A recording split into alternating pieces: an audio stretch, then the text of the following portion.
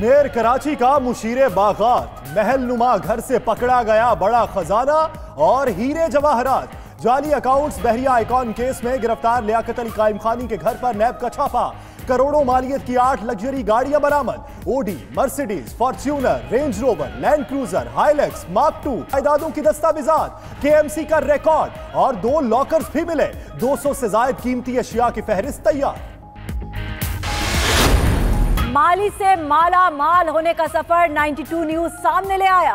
سابق D G پاکس لیاقت قائم خانی کے ایم سی میں بطور مالی بھرتی ہوا۔ سابق میں نعمت اللہ خان نے ڈی جی پاکس کا عہدہ تخلیق کر کے لیاقت علی کو تعینات کیا۔ لیاقت نے سندھ کی اہم شخصیات سے تعلقات بنائے۔ طویل عرصہ ڈی جی پاکس رہا۔ بے نظیر بھٹو پاک کی تزین و آرائش کا کام بھی اسی کے سپورٹ کیا گیا۔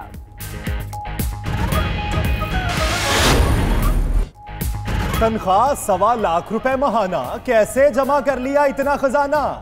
میر کراچی کے مشیر باغات سے صحافی نے پوچھا، آپ کی سالانہ تنخواہ پندرہ لاکھ ہے، اتنا لگژری لائف سٹائل کیسے رکھا ہوا تھا؟ لیاقت علی نے کہا، وہ زمیندار خاندان سے تعلق رکھتا ہے۔ غیر قانونی اثاثوں کے کیس میں گرفتار خورشید شاہ کے گھر پر بھی نیب کا چھاپا دستاویزات اور ٹیلی فون تحویل میں لے لیا۔ خورشید شاہ نے میڈیا سے گفتگو میں کہا، حکومت نے انہیں گرفتار کرا کر غلطی کی۔ ادھر خورشید شاہ طبیعت کی خرابی پر ہسپتال منتقل۔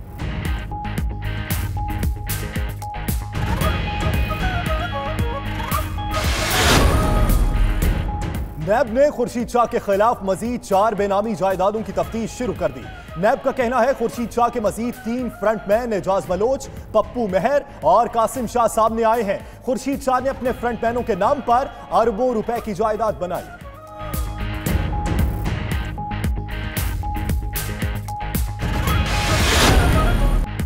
نوید کمر کہتے ہیں قومی اسمبلی کو مفلوج کر دیا گیا ہے۔ خواجہ آصف نے کہا سپیکر نے ہماری نہ سنی تو بات آگے تک جائے گی۔ مراد سعید بولے، اپوزیشن کی کالی پٹیاں دیکھیں تو لگا، کشمیریوں سے یکجہتی ہے، مگر وہ تو اپنا رونا رو رہی تھی۔ شفقت محمود نے کہا، گرفتاریاں نیب نے کی حکومت کا کوئی تعلق نہیں۔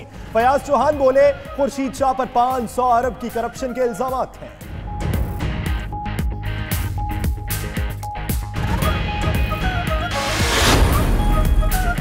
خورشید شاہ نے گرفتاری والا کام کیا ہوگا تو گرفتار کیا گیا؟ وزیر داخلہ اعجاز شاہ کی کوئٹہ میں میڈیا سے گفتگو۔ بولے، نیب والوں نے پکڑا ہے، حکومت سے کیا ڈیل ہوگی؟ نیب کی کاروائیوں میں حکومت کا کوئی کردار نہیں۔ میرا خیال ہے، مولانا فضل الرحمان دھرنا نہیں دیں گے۔ کوئی بھی دھرنا دے، لیکن قانون ہاتھ میں نہ لے۔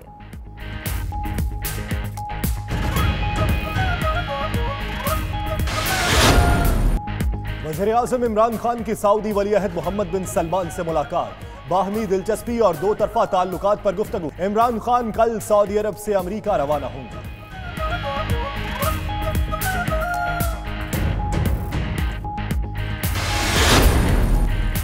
پاک بحریہ کی جنگی مشکوں شمشیر بحر اور ترسیل بحر کی کراچی میں اختتامی تقریب۔ Naval chief admiral Zafar Mahmood نے کہا کہ مقبوضہ کشمیر میں بھارت کے غیر قانونی اقدامات کے بعد خطے کی جغرافیائی حالات انتہائی پیچیدہ ہیں۔ بھارتی حکومت کا جنونی رویہ خطے کے امن کے لیے بڑا خطرہ ہے۔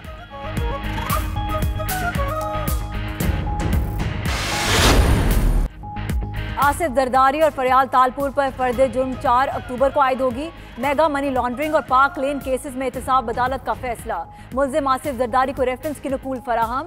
میڈیا سے گفتگو میں زرداری کے چہرے پر تناؤ نظر آیا۔ سامنے آنے پر صحافیوں کو جھڑک دیا۔ بولے کہ یہ تمام جماعتوں کو اکٹھا کرنے کا وقت ہے۔ فضل الرحمان کے دھرنے میں شرکت کا فیصلہ بلاول کریں گے۔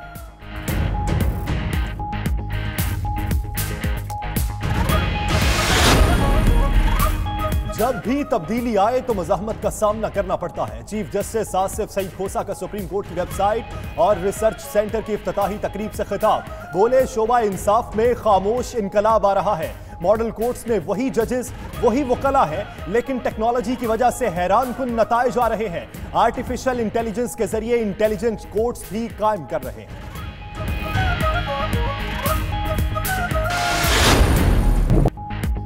فیصل آباد کے ریٹائرڈ پولیس کانسٹیبل کے اکاؤنٹ میں پچپن کروڑ ترپن لاکھ روپے کی جادوئی انٹری رقم کہاں سے آئی؟ ارشد محمود لا علم. کہا پیسے نکلوانے اے ٹی ایم پر گیا تو رقم کی موجودگی کا پتہ چلا؟ متعلقہ بینک سے رابطہ کیا تو ہائی لیول کا معاملہ کہہ کر خاموش رہنے کا کہا گیا۔ بینک نے کاغذات پر دستخط کروا کر اکاؤنٹ بحال کیا، اضافی رقم اکاؤنٹ سے منتقل کر دی۔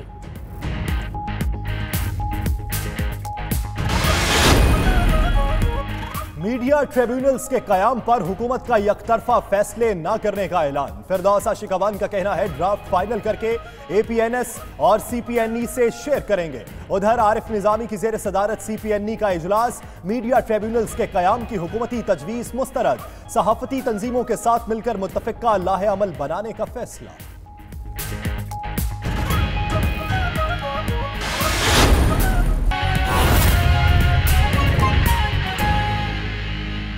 Council of Pakistan news papers editor نے مجوزہ میڈیا ٹرائبیونلز کو مسترد کر دیا ہے۔ وفاقی حکومت کے فیصلے کے خلاف تمام صحافتی تنظیموں کے ساتھ مل کر مزاحمت کا فیصلہ۔ صدر سی پی این ای عارف نظامی کہتے ہیں کہ آزادی اظہار رائے جمہوریت کا حسن ہے۔ پیپلز پارٹی اور مسلم لیگ نون نے بھی میڈیا کوٹس کے خلاف جد و جہد کی حمایت کا اعلان کر دیا۔ کراچی سے تیار کردہ یہ رپورٹ دیکھیے۔ وفاقی کابینہ کے فیصلے پر میڈیا ٹریبونلز بنانے کی تیاری۔ آزادی اظہار رائے پر قدغن کے مجوزہ منصوبے پر صحافیوں میں تشویش کی لہر۔ کراچی میں ملک بھر سے آئے اخبارات و جرائد کے مدیران کا اجلاس ہوا۔ سی پی این ای کے صدر عارف نظامی کی زیر صدارت اجلاس میں مجوزہ میڈیا کورٹس اور وفاقی حکومت کی پالیسیوں کا جائزہ لیا گیا۔ سی پی این ای نے وفاقی حکومت کے میڈیا ٹریبونلز کو مسترد کرتے ہوئے تمام صحافتی تنظیموں کے ساتھ مل کر مشترکہ لاہ عمل کا فیصلہ کیا۔ فیصلہ ہوا کہ یہ جو پروپوزڈ یہ مجوزہ جو خصوصی عدالتیں ہیں اگر یہ قانون جو ہے اس کو نافذ کرنے کی کوشش کی جائے تو سختی سے رجسٹ کیا جائے گا اور حکومت سے اس بارے میں دو ٹوک بات کی جائے گی کہ یہ اس قسم کی کوشش نہ کریں جو آزادی صحافت کے لیے بہت ہی زہر قاتل ثابت ہوگی روزنامہ نائنٹی ٹو نیوز کے مدیر اعلیٰ اور سینئر صحافی ارشاد عارف نے کہا کہ حکومت اپنے اوپر ہونے والی تنقید کو روکنے کے لیے ایسے فیصلے کر رہی ہے۔ نان پرفارمنس جو ہے اس کو بھی میڈیا میڈیا اجاگر کر رہا ہے تو شاید میڈیا کا گلا دبانے سے یا میڈیا کو دباؤ میں لانے سے عوام مطمئن ہو جائیں گے یا عوام تک ہماری حقیقی تصویر نہیں پہنچے گی۔ تو میں سمجھتا ہوں کہ یہ ایک غلط سوچ ہے۔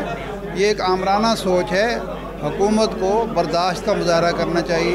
پیپلز پارٹی اور مسلم لیگ نون نے میڈیا کی آزادی کو سلب کرنے کے کسی بھی قانون اور تجویز کی مخالفت کا اعلان کرتے ہوئے کہا کہ میڈیا کورٹس بل کی حمایت نہیں کریں گے۔ Council of Pakistan news paper editors نے وفاقی حکومت کی جانب سے میڈیا ٹریبونلز کو آزادی اظہار رائے پر پابندی قرار دیتے ہوئے فیصلہ کیا ہے کہ ہر سطح پر اس قانون کی مخالفت کی جائے گی۔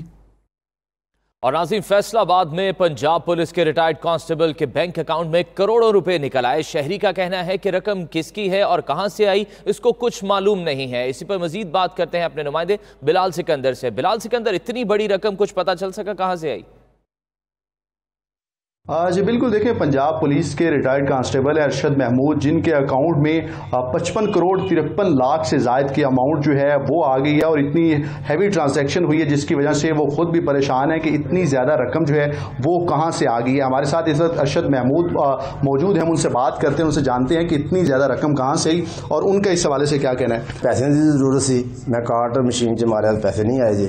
میں بیلنس چیک کیا تو بیلنس بہت زیادہ سی اس گلوں زیادہ ٹینشن بن گئی جی پچوجا کروڑ چرنجا لاکھ کچھ پہ روپیے اس طرح میں کہ جی انہیں انہیں کہ اس مسئلے چھڈو یہ ہائی لیول کے مسئلے نے ساڈا مسئلہ نہیں ہے یہ بہت لمبا چوڑا مسئلہ تھی رہنا تو اپنے پیسے تھے پورے نہ تو کون جی میں کہ میں تو بھی ہزار کٹا لیا میرا بیلنس پورا ہے کہنا ٹھیک ہے تو جاؤ بس جی بالکل دیکھیں ارشد محمود کا کہنا ہے کہ ان کو اس چیز کی خوشی کم تھی اور وہ پریشان اس حوالے سے زیادہ تھے کیونکہ ان کے اماؤنٹ میں بہت زیادہ رقم جو تھی وہ ٹرانسفر کر دی گئی تھی۔ لیکن اب جو متعلقہ بینک تھا، ان کے ہیڈ آفس سے رابطہ کیا تو انہوں نے ایک جو کاغذ ہے، اس پہ ان سے دستخط لیے اور ان کی جو مطلوبہ رقم تھی جو ان کے اکاؤنٹ میں نوے ہزار روپیہ تھا، وہ انہوں نے اپنے، ان کے اکاؤنٹ میں رہنے دیا۔ باقی جو رقم تھی پچپن کروڑ اور ترپن لاکھ سے جو زائد کی بنتی ہے، وہ تمام رقم جو ہے وہ ان کے اکاؤنٹ سے ٹرانسفر کر کے کسی اور اکاؤنٹ جو ہے وہ اس میں بھیج دی گئی اور اب ارشد محمود کے اکاؤنٹ میں ان کا جو نوے ہزار روپیہ تھا وہی موجود ہے۔